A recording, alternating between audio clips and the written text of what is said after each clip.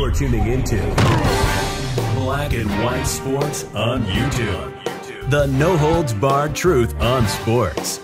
The main event starts now. I'm back. Rodrance for our Black and White Live. We're going to do Week 12 NFL picks. The other day, I dropped the Thanksgiving Day picks. I was two and one. Uh, I did pick the Lions to beat the Bears, and once again, the Lions got their guts ripped out at the very end of the game. Dan Campbell somewhere is still on the ground crying. I'm a huge fan of Dan Campbell, but that Lions team is just devoid of talent. As if this is the first time you've come to the podcast, make sure you hit subscribe. Uh, we are available on Spotify, Castbox, Apple Podcast, Google Podcast, and of course, if this is your first time on Black and White Live, make sure you hit subscribe here on YouTube. And to all the regular watchers, thank you. We appreciate it. Uh, so I did have the Raiders over the Cowboys. Uh, had a feeling with the Cowboys' lack of playmakers. Um, CeeDee Lamb and, um, of course, Amari Cooper having been out because of the Wuhan virus. I just had a feeling it was going to be tough to score points. And then the Raiders made it tougher when Darren Waller went out of the game for them. It got very interesting, very entertaining game, actually. Uh, and also, I had the Bills over the Saints. I did have that game much closer than it ended up being, though. Uh, so, as it seemed that the, the Bills kind of got their offense worked out, I don't love the fact that they're so Josh Allen centric on that team. Uh, they've got no real running game to speak of. And really and truly, if you look at the Bills and their playmakers, I'm not overly impressed there either. They've got they've got Stefon Diggs and they've got Cole Beasley, but um, Diggs is really the only true threat outside of Josh Allen on that team, uh, far as offense goes. Uh, boy, if he had a good tight end, they might really, really be able to do something with that offense. So, kind of makes you wonder if Brian Daboll's stock is going to be dropping uh, as a potential head coach. He was a hot name last year and did not get a job. All right, let's go. This is going to be week 12. It's going to be the 12 o'clock games, Central Time, 1 o'clock Eastern. Buccaneers against the fighting Carson Wentz's. The Colts. That's right. If you have not been watching the in season HBO Hard Knocks with the Colts, I highly recommend it. I think it's. I've only seen one episode, but what I saw was really good. Uh, it's amazing how much um, sort of getting a behind the scenes on Carson Wentz kind of makes you like him as a person a little bit more. Uh, and of course, Frank Reich, uh, I like him a lot. I like him a lot. Uh, religious guy. You don't see you don't see that very often. Uh, just being so open about the uh, belief set, and I was impressed by that. You know, in this day and time, you just don't see that a whole lot. Okay, so we'll have Tom Brady in this game. Uh, Gronk is back, and uh, I do think the um, I do think the uh, Buccaneers missed something not having Antonio Brown uh, around. I I actually think uh, Brady's two favorite go tos on this team is Gronk and Antonio Brown. Uh, so that said, the Colts are on a roll. They're six and five. You know the odd thing about the NFL the last two years, last year and this year, is is that the home field advantage, if you haven't noticed, is gone. It's disappeared. Uh, it's really strange. That used to be such a big deal in the NFL. But the last two or three years, the home field advantage is just uh, basically non existent. Uh, that being said, all that being said, I'm actually picking the Colts in this game. I am. I'm going with Carson Wentz, Frank Reich in Indy against Tom Brady. I think the Bucks the Bucks look a little off to me on offense. Uh, Tom Brady actually is probably uh, last time I looked at betting lines, uh, I believe he is the front runner for the MVP right now. Uh, on on some eh, some betting entities out there anyway. Uh, but I've got I've got the Colts winning 27-24 over the Bucks. I know they're defending Super Bowl champs. Uh, Jonathan Taylor is running all over everybody. I understand the Bucks got a good uh, defense, but I just have a feeling the Colts keep this train rolling with uh, Jonathan Taylor. He is an absolute beast. Oh, the Titans at the Fighting Mac Joneses, the New England Patriots, who look eerily similar to the 2001 New England Patriots. It's unbelievable. This week, Matt uh, Matthew Slater came out and said that um, it's unbelievable how Mac Jones has just slid right in to the Patriots. He said not only as a player, but just uh, the Patriots culture. Uh, it was like uh, Legos. It snapped right in with Mac Jones, and um, he's looking more and more like a veteran out there. Uh, great completion percentage. The Titans. Oh, Ryan Tannehill threw four interceptions. All of a sudden, you would think it was Tannehill with Adam Gase again. Um, look, I, I do think that's a little bit overplayed. But the Titans, we know their offense revolves around a running game, and Derrick Henry is not not around. He is out, of course, with the foot injury. I am going Patriots. Foxborough is still a, t- a tough place to play. I'm going Patriots in this game 24, uh, Titans 14. I think it's going to be a struggle. Patriots look great. They're going to end up being 8 and 4 and I would not sleep on the Patriots. By the way, AJ Brown is I believe headed to injured reserve last I checked. Next up, we got the Steelers at the Bengals. Uh, this should be interesting. The Bengals already beat the Steelers once this year, and uh, the Bengals are six and four. The Steelers are five, four, and one. Um, I don't care. Ben Roethlisberger is playing. He's back, uh, coming off the uh, Wuhan virus outage, and uh, of course he was back last week uh, playing. I, I just uh, I don't know about the Bengals. They don't look like the same Bengals team they look like uh, three or four weeks ago.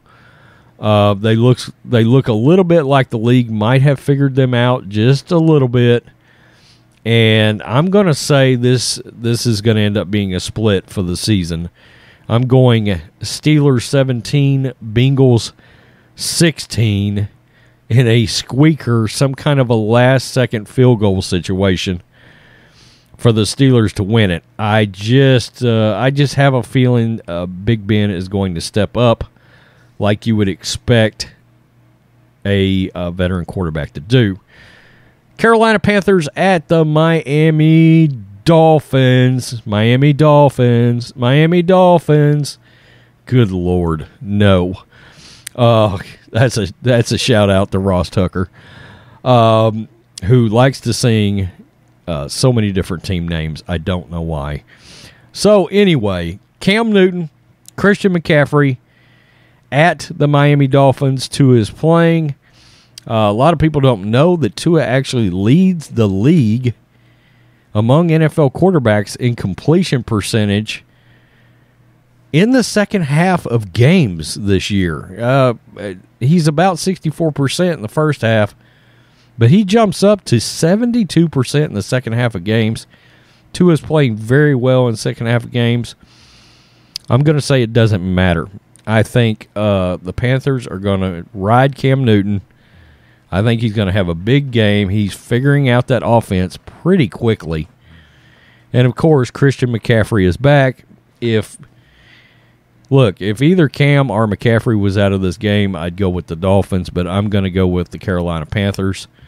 Uh, by the way, that will make them six and six.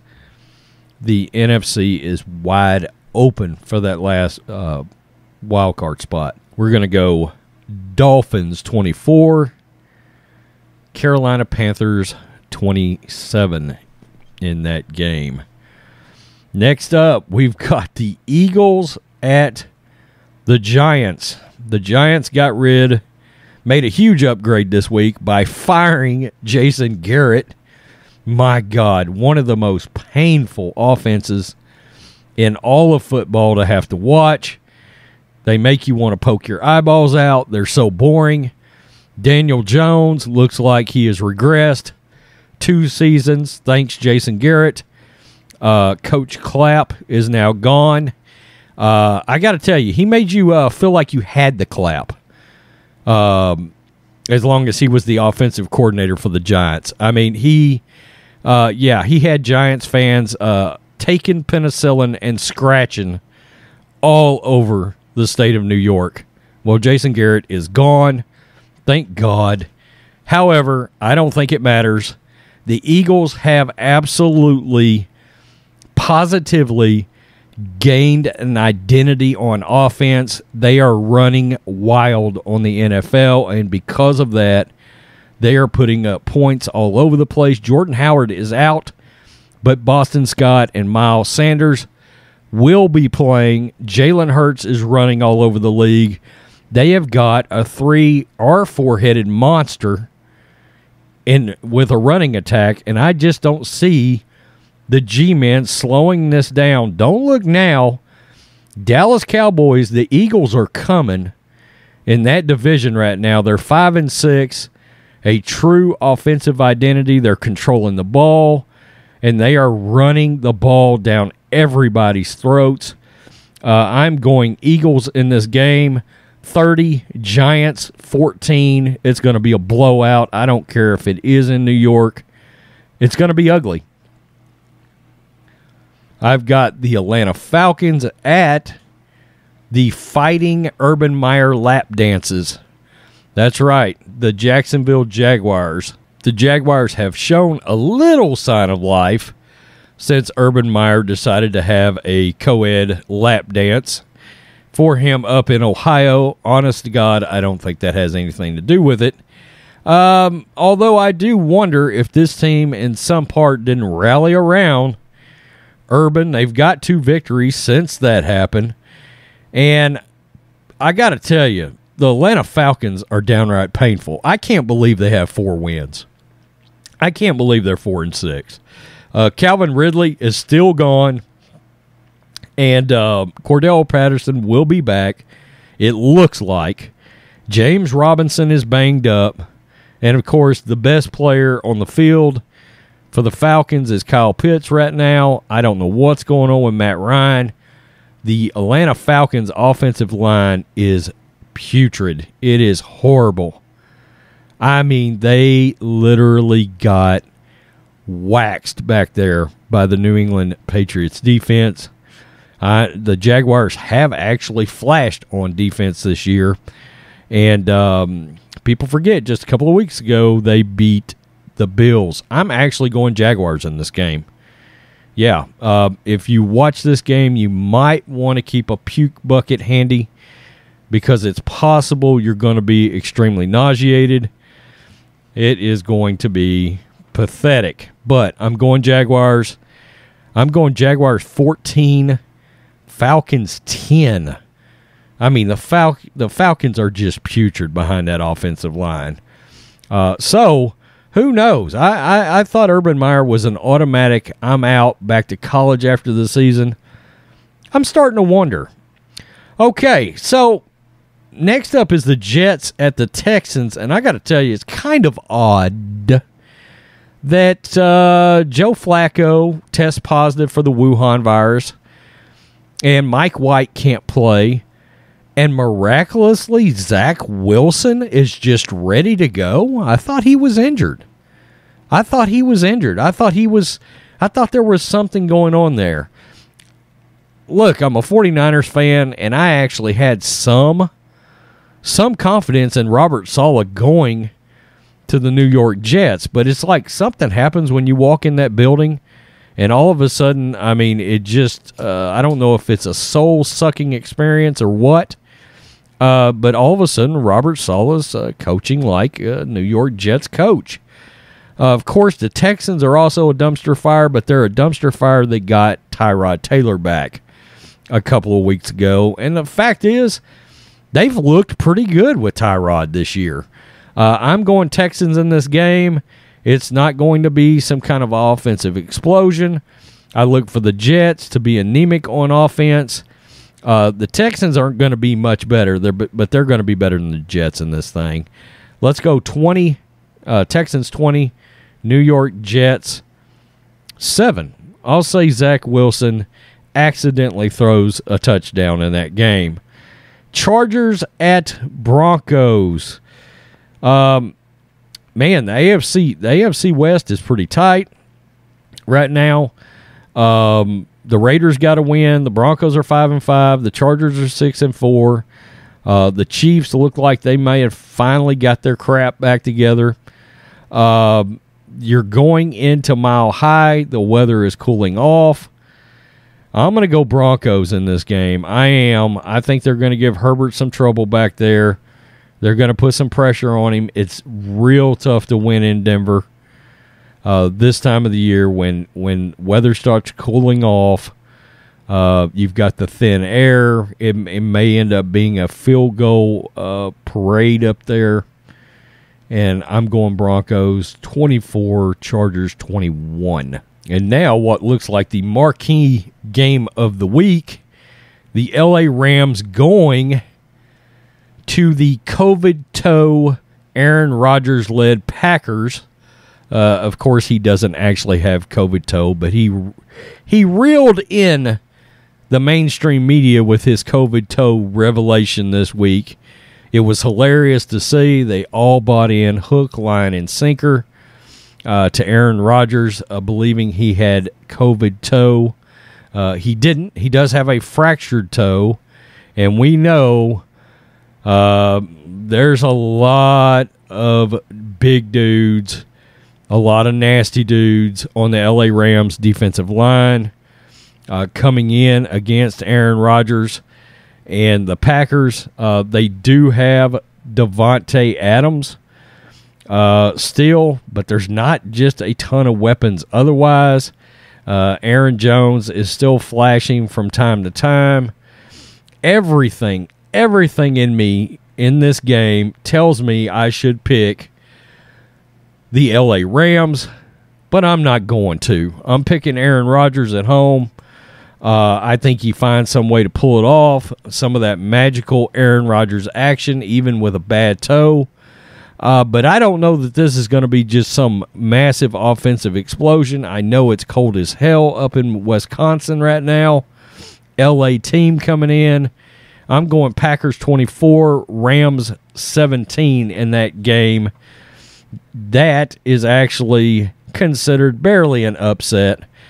And now we get to my team playing at home where they have almost no home field advantage for whatever reason. The Niners struggle mightily at home. Uh, I don't know what's going on with that. The Vikings are 5 and 5, the 49ers are 5 and 5. And this is kind of uh, this is nearly a loser leaves, town match. Uh, it's close. It's close. Um, they're fighting for that last playoff spot. The Niners look like they've gotten some of their crap together. The Vikings look like they've gotten some of their crap together. Uh, Jimmy G's been pretty tough out there. Uh, Deebo Samuel looks like one of the best playmakers in all of football. Kyle Shanahan finally got his head out of his ass. Whatever personal vendetta he had against uh, Brandon Aiyuk seems to be gone, and Brandon Aiyuk looks great for the 49ers. He should have never been missing games this year.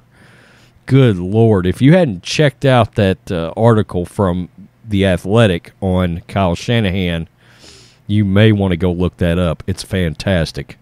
Uh, I'm going 49ers in this, and I do think it is going to be close. Real close. 49ers 24, Vikings 23. Last second field goal. Uh, Vikings go to five and six. Niners go to six and five. Uh, I don't know. It may not be a loser leaves town, but it, it sort of feels like it.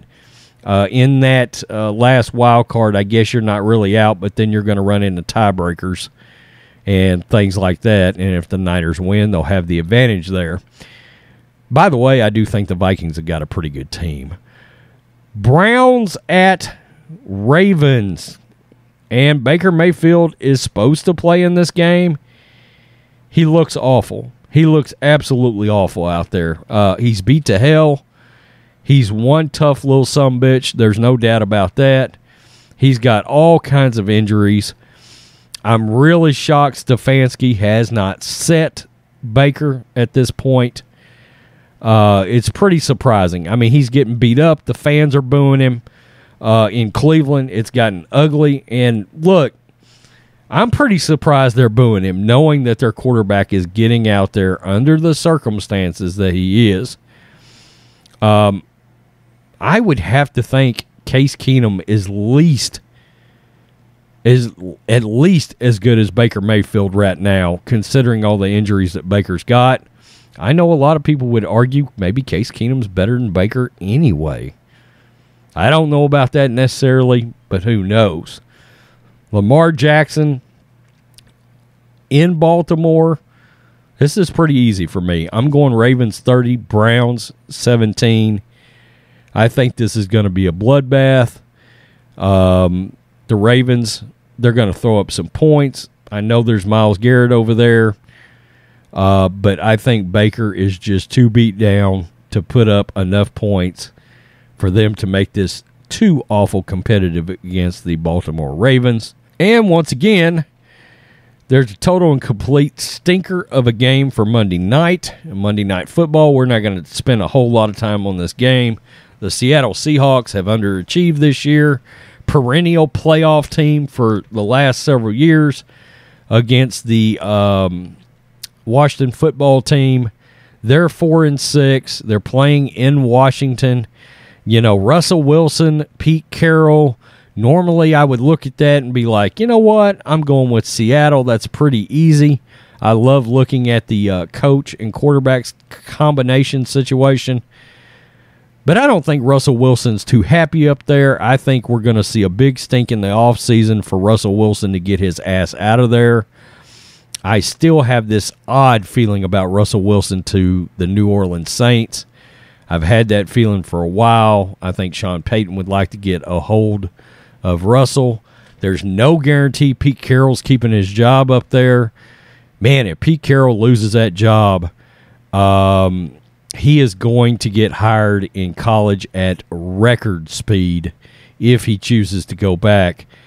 And oddly enough, USC is open again. I'm just saying that's awfully strange. Uh, what a fantastic story that would end up being if that ends up happening. I'm going the fighting Taylor Heinicke's there. Uh, I'm going to go Washington 17, Seattle Seahawks 14. Uh, this could be putrid, but you can watch the Manning cast on ESPN 2 if you choose to consume this game, maybe there'll be some good interviews. I still like the regular broadcast because I like to hear the breakdown. And uh, frankly, I actually think that uh, Louis Riddick and Brian Griese and Steve Levy are pretty good in the booth. They long term won't keep them in there, and that's sort of a shame. They've been pretty good at their job. Um, of course, I'm a Michigan fan, so Brian Griese, you know, went to Michigan, was a pretty good NFL quarterback. Not a great NFL quarterback, but pretty good. Uh, good long term pro quarterback, let's put it that way. Um, didn't set the world on fire, but flashed at times and got some wins. Okay, that's going to wrap it up for week 12. Bringing this back after it's been gone for so long before the end of the season, I mean, we used to always pick games every week on a live stream, but that was before Black and White Sports blew up. And um, now I decided to bring it back uh, for the live channel, uh, the live YouTube channel, and for the folks here on the podcast. Tell me what you think. Make sure you hit subscribe. Black and White Live, Black and White Sports, Black and White Sports, the podcast and we are over on Newsbreak, Black and White Sports Texas edition. We cover exclusively Texas sports over there. If you've got the Newsbreak app, make sure you follow us there as well. Peace. I'm out. Till next time. Thanks for watching the show. Be sure to like, comment, and subscribe. Be sure to tune in next time on Black and White Sports.